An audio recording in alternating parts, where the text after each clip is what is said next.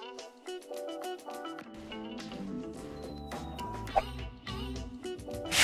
În filmele cu spioni, aceștia au parte de două lucruri constant, acțiune și femei. Așa că un polițist plictisit din Spania s-a decis că are nevoie de a doua variantă, acțiune cu femei și banii lor. A reușit să ajungă la cel puțin 11 femei cu ajutorul aparaturilor electronice, armelor și videoclipurilor filmate în armată care făceau să pară că este agent secret și pentru că să pare agent secret se pare că nu mai este suficient în ziua de astăzi, el le promitea femeilor un loc de muncă în cadrul serviciilor secrete care urma să plătească 1900 de euro pe lună, atâta vreme cât ea, femeia care era la interviu, îi oferea servicii carnale și îi dădea bijuterii. Identitatea polițistului nu este cunoscută, dar în 2013 a fost prins, a fost acuzat de fraudă, tentativă de viol, șantaj, fals în acte și a fost obligat să plătească o amendă de, ascultați aici, 1200 de euro. Pentru că doar despre una din victime se știa sigur că a oferit unele servicii și bijuterii în valoare de doar 250 de euro.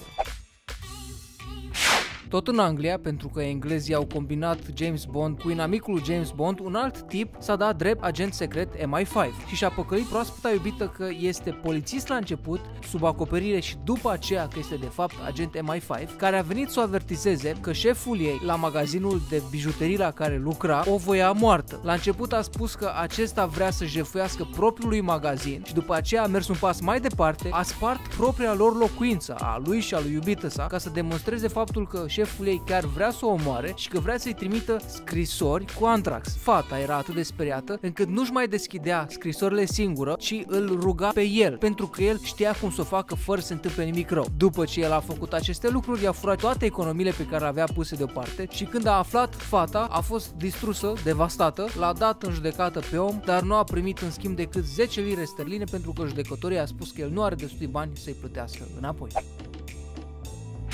un fost polițist englez, și ca să fie mai simplu, de acum înainte toți o să fie englezi. Un fost polițist englez care conducea un BMW ale cărui plăcuțe de matriculare spuneau MI5 Spy, spion MI5 și avea un ID guvernamental fals care scria și numele directorului agenției fals, dar asta nu contează, a reușit să păcălească mai multe femei de pe site-uri de întâlniri unde se dădea drept spion să se întâlnească și să fie împreună cu el. Pe una din ele a reușit să o păcălească să se căsătorească cu el, iar a doua zi femeia a aflat crudul adevăr că ea nu este decât un cont bancar pentru el când i-a pus o sabie la gât și a forțat-o să ia o ipotecă pe casă, amenințând-o că altfel îi va tăia capul. Și cu toate că spunea că e heterosexual, spionul MI5 a jurat că are un partener de același sex care tocmai murise, de la cărei familie cerea într-o scrisoare falsificată drept a băiatului care tocmai a murit 100 de mii de lire sterline. Ca să se asigure că îi merge treaba, a amenințat amenințat un partener de afaceri cu arma să scrie o scrisoare familiei prin care confirma că într-adevăr ăștia doi băieți au fost împreună și chiar au fost parteneri oficial pentru a-și primi bani. Din fericire, minciunile au ieșit la iveală și a ajuns la închisoare pentru 14 ani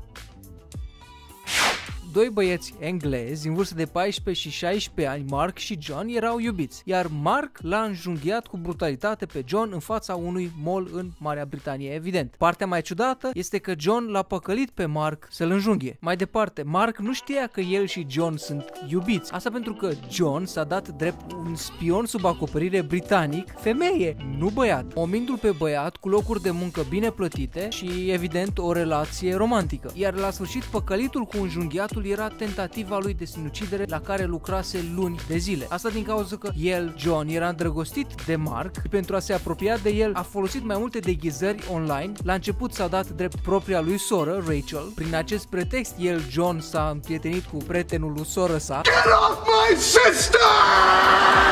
Soră sa imaginară, care de fapt era tot el, l-a făcut pe Mark să se dezbrace în fața unui webcam, crezând că va fi văzut de Rachel și fiind din ce în ce mai deprimat de faptul că nu va fi niciodată iubit înapoi și a pus în aplicare planuri prin care se sinucidea cumva asistat. Și toate aceste lucruri Mark le-a aflat de la John când se aflau în fața instanței. Desigur că celor doi li s-a interzis să mai vorbească vreodată și nici n-au mai avut voie să folosească internetul nesupravegheați.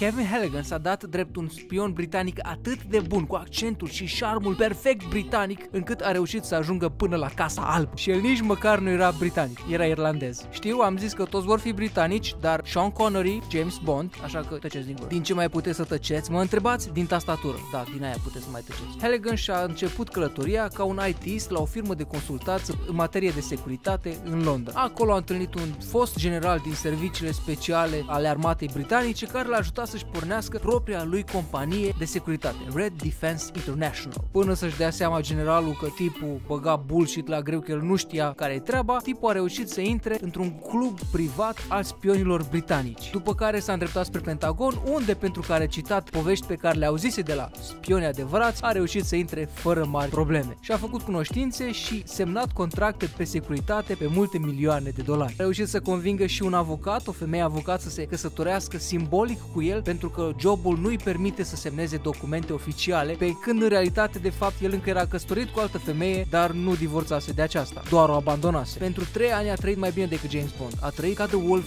on Wall Street. Hoteluri scumpe, restaurante incredibile, în clădiri de-ți pică ochii, dar oamenii au început să se prindă că ceva nu e în regulă. Asta mai ales după ce a fost plătit un milion de dolari să găsească un copil pierdut. Familia renunțând până la urmă și tăind orice legătură cu Halligan. Datoriile se strângeau din ce în ce mai mult, așa că și-a luat tălpășița și a fugit în Londra, unde a fost recunoscut de câte un barman, amintindu-și de el că era un bun povestitor de povești cu spioni și că nu și-a plătit niciodată nota de plată. La câteva luni după asta a ajuns la închisoare în Londra, care l-a extradat în 2012, iar în 2013 a primit o sentință de 41 de luni în închisoare federală, plus că a fost obligat să plătească 2,1 milioane de dolari în pagube. Se pare că și din personajele pozitive oamenii pot să ia cele mai rele lucruri și dacă v-a plăcut acest episod, vă recomand și un episod despre James Bond, de unde puteți luați lucrurile bune și să le aplicați în viața voastră, iar până data viitoare nu uitați să-mi dați un like, vă rog frumos, un share pe rețea de socializare. Eu sunt Alex Cosma și până data viitoare, Gedotras Gedrivos.